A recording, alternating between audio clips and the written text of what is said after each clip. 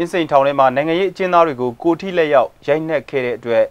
ထောင်ဝန်ထမ်းဟောင်းနှစ်ယောက်ကပြန်လည်ဝန်ချတောင်းပန်တဲ့အစည်းအဝေးကိုမီဒီယာတွေရှေ့မှာပြုလုပ်ခဲ့ပါတယ်။ဒေါ်လေးလေးမွန်သတင်းပေးပို့ထားတာပါခင်ဗျာ။အကျဉ်းတော်အတွင်းဥပဒေမဲ့ရိုက်နှက်ခဲ့တဲ့အကျဉ်းဦးစီးဝန်ထမ်းဟောင်းတပ်သားအေးမင်းအောင်နဲ့တာဝန်ယူဖို့ပြက်ကွက်ခဲ့တဲ့သုံးမွေးအဆင့်ရှိဦးစီးအရာရှိဟောင်းဦးမောင်မောင်ကြီးတို့ကနေဩဂုတ်လ3ရက်နေ့တာမွေမြို့နယ်ရှစ်နေရုံးခန်းတစ်ခုမှာ ကာယကံရှင်တွေကိုပြန်လည်တောင်းပန်ကြောင်းသတင်းမီဒီယာများရှေ့မှာပြုလုပ်ခဲ့တာပါပြီးခဲ့တဲ့နှစ်ဇူလိုင်18ရက်နေ့ကဦးစီးအရာရှိဦးမောင်မောင်ကြီးကတပ်သားကိုအေးမင်းအောင်အနေနဲ့အချုပ်သားကိုရိုက်နှက်ခဲ့ချိန်မှာ တားဆီးအပြစ်ပေးခြင်းမရှိခဲ့တဲ့အတွက်လက်ရှိအချိန်မှာအကျဉ်းတော်ကနေပြင်ဆင်ပေးခြင်းခံခဲ့ရသူပါကျူးလွန်ခဲ့သူတပ်သားကိုအေးမင်းအောင်ကတော့ရိုက်နှက်ခဲ့စဉ်ကညှင်းဆိုခဲ့ပေမဲ့အကျဉ်းတော် CCTV ကင်မရာမှာတွေ့ရှိခဲ့တာကြောင့်တရားစွဲဆိုခံနေရစဉ်မှာပဲအကျဉ်းတော်ဝန်ထမ်းအဖြစ်ကနေအလုတ်ဖြုတ်ခံခဲ့ရပါတယ်အခုဖြစ်တဲ့မှုကိစ္စမှာလည်း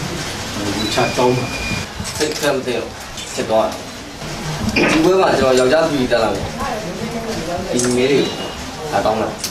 အခုအမှုဟာမြန်မာနိုင်ငံမှာအကျဉ်းဦးစီးဌာနကထောင်ဝန်ထမ်းတွေကိုပထမဆုံးတရားစွဲဆိုခွင့်ရရှိခဲ့တဲ့အမှုလည်းဖြစ်ပါတယ်။ထိခိုက်နာကျင်မှုချိန်ချောက်မှုနဲ့အားပေးကူညီမှုစတဲ့တရားစွဲဆိုမှုတွေနဲ့ရိုက်နှက်ခံခဲ့ရတဲ့အချုပ်သားကိုတီဟကိုကိုနဲ့ကိုမောင်မောင်သက်အပါအဝင်အမှုရဲကိုယောက်တို့ကနေတရားစွဲဆိုထားတာတစ်နှစ်ရှိပြီဖြစ်ပါတယ်။အခုလိုကျူးလွန်ခဲ့သူတွေဘက်ကတောင်းပန်လာတဲ့အတွက်လာမယ့်ဩဂုတ်လ14ရက်နေ့မှာတော့ အမှုကိုတရားဝင်ပြန်လည်ပိတ်သိမ်းပေးမှာဖြစ်ပါတယ်။ရဲဝင်စွာယောက်ျားပြီးတော့ဆိုဝင်တဲ့ချ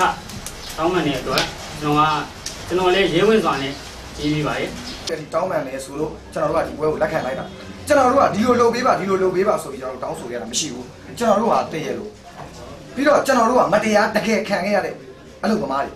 ကိုနေလင်းဦးတီဟကိုကိုတို့အပါအဝင်အမှုရဲကိုရောက်တို့က တော်ဝင်သစ်အချောတဲ့စက်ယုံအလုပ်ရှင်ကိုဆန္ဒပြခဲ့တဲ့အလုပ်သမား200ကျော်တဲ့ကအဓိကဥဆောင်ခဲ့သူတွေပါ2013ခုနှစ်မှာငင်းညမ်းစွာစုဝေးခွင့်စီတန်းလက်လဲခွင့်ပုံမှာ18နဲ့အရေးယူခံခဲ့ရသူတွေဖြစ်ပြီးအကျဉ်းတော်အတွင်းမှာညှဉ်းပန်းနှိပ်စက်ခံခဲ့ရတာပါဒီဘက်မှာလည်းနိုင်ငံရေးကျင်းသားတွေရောအကျင်းသားတွေရောရိုက်နှက်ခံရတဲ့ကိစ္စတွေရှိခဲ့တယ်ဆိုတာကိုကျွန်တော်တို့ကြားသိရတယ်ရှိတယ်ဘရူရော်လောဆိုတဲ့တစ်ချက်နောက်တစ်ခုအဲ့ဒီထဲမှာဒီလိုရာဇဝတ်မှုမျိုးဖြစ်လာလို့ရှိရင်တိုင်ကြားဖို့အတွက်ဌာန ဆိုင်ရာလိုအရာမျိုးတစုံတရာလုံမပေးထားတာတစ်ချက်နောက်ဆန်ရှင်ဆိုတဲ့အရာတစ်ချက်ဆန်ရှင်ဆိုတာတရားစွဲဆိုခွင့်မဲ့ပေါ့